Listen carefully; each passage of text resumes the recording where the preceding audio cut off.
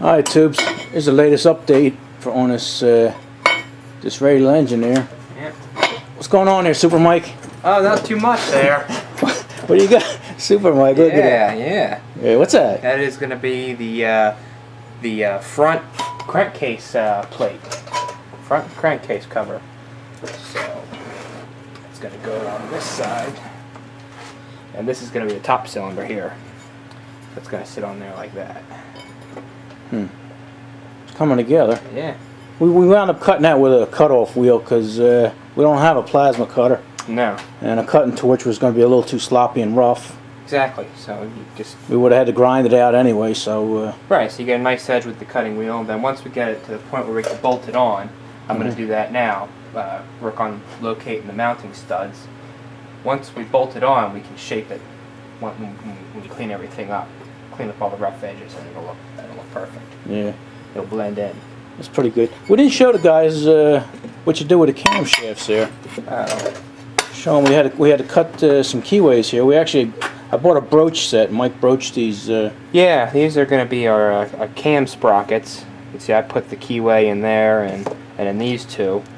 And these uh, rods here are going to be the shafts. I just I used the mill and I milled a keyway in there and in there, and just got it. It's a 330 seconds keyway, 3 8 uh, shaft. So and and the cams themselves, these are the original Briggs cams that we've cut down. They're going to sit on here like that, and they're going to be pinned onto this uh, shaft here. And the gear is what's going to be removable. So you'll install the install the cam. Well, you put one plate on, slip the cam in there, slide the other plate on, and then the gears go on at the end. there you go. So I don't know if we could have bought a shaft with a, with a 330 second uh, keyway because that's pretty small. uh, it's better to make it yourself. Yeah, Uh, If you, if you could, you, it'd probably full fully keyed, right. and we don't want that. Yeah, You know, I, I guess unless we wanted to, to key the cam, but then we'd have to have a set screw in there, and there's not a lot of meat for that. Right. So, you know. yeah, yeah. A little will come in handy. You still got the the 330 second. Uh, Uh, yeah, little bit in there. still in there. Got a, got one more keyway to cut in in uh, one more shaft. And then there's our little chain. Yep. What size is that, Mike? Uh, number twenty-five, I believe. Yeah, it's pretty tiny. Yeah. But uh, but, But that'll do the job. yeah, exactly. It's just turning the uh, it's just For baby turn- cams. Turning the camshafts there. Huh. So uh, what do we? Uh, where's our oil pump? There it is. Ah. Oh yeah. Here's our oil pump. Everybody's worrying about the oil pump. Are you gonna get a oil up there? Yep. Yep. Well, It's that's, that's a little uh, oil pump. mechanically driven uh, oil pump. So um, we can, maybe we can work on that a little bit today.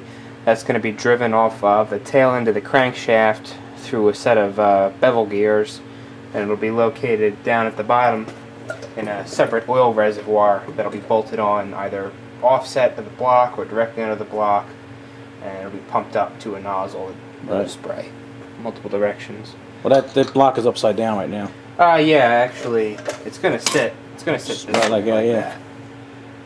Let's see what oil pump's gonna be, Mike. uh, it's gonna be. Well, this is the front, so we'll just call this the back for now. It's gonna be mounted down here.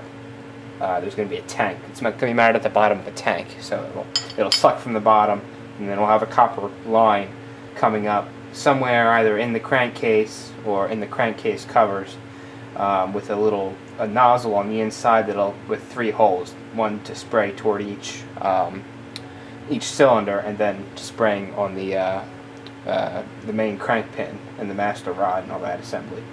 So there'll be plenty of oil fling, Yeah, flinging oh, yeah. around in this engine. Okay. We don't have to worry about that. Nah. And then as far as the the return, I know there were some concerns about that that were brought up. Um, there's going to be, I, I think I actually want to grind uh, a little recess into this lower plate, and somewhere in the center or offset there'll be a drain back into that tank that we haven't built yet. And then in this cylinder over here, this is obviously going to be the lowest point, the valve chest of the lower cylinder. We'll just call this one the lower cylinder. Uh, in the valve cover, we'll have another drain.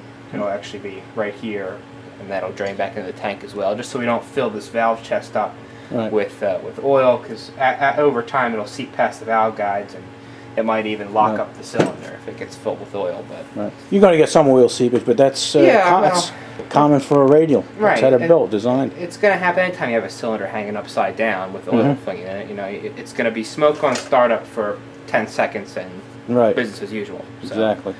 You know, no big deal. All right. Well, we got a lot to do here, so uh, let's get to work, buddy. All right. All right. Let's check with our buddy Mike over here. What's going on, Mike? Ah, well, a couple things we got going on. Um, uh, you you already saw the oil pump, right? Right. little oil pump we have. Um, after I worked on the front uh, plates, I made the uh, oil pump drive shaft here. I cut the little, the little uh, flat into that, and that interlocks there.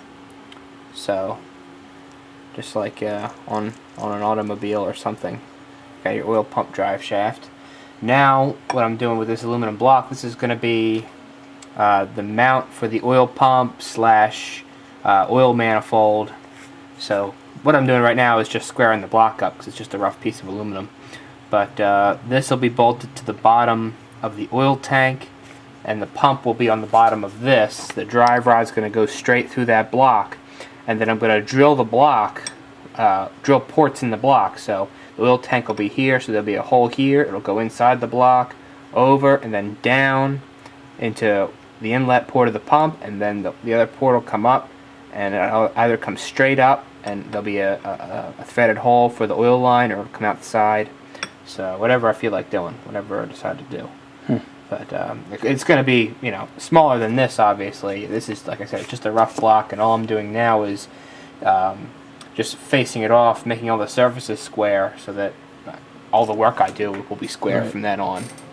Because you can see there's hammer marks on here. Oh yeah, that was that was a rough piece. Right, it's just a chunk of aluminum. I don't know what we use that for, but Yeah. somebody beating on it good with a hammer. Yeah. Yep. So, but uh, but yeah, I mean, manual machining, it, like this, just just to cut this little uh, little flat in there on this little mill took me, you know, better part of 45 minutes. Yeah.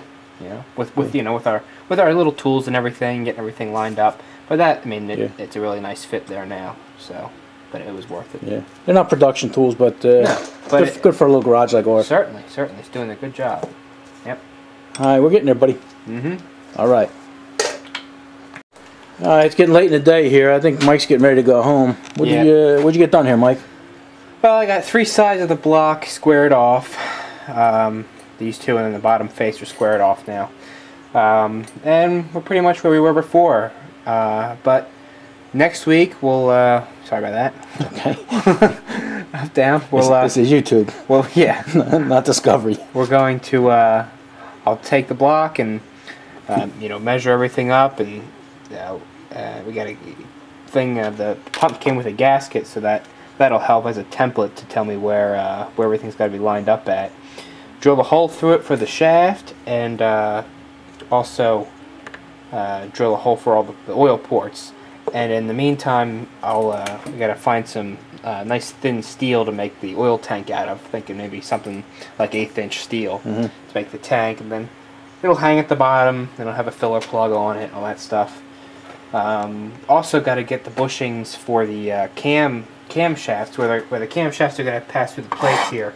We're going to make some uh, put some bronze bushings in there, and uh, figure out a way, some kind of oil seal to keep the oil from spraying out through that through that shaft hole, where they pass through the uh, crankcase ends. So got lots to do yet, but uh, really it, it's it's farther along than it looks. It is. We had a lot done. It doesn't look like you get much done, but uh, Right. every little bit helps. Yep. Definitely. Yep. Okay. I was going to call it a day. All right, we'll see you, Tubes. Take it easy.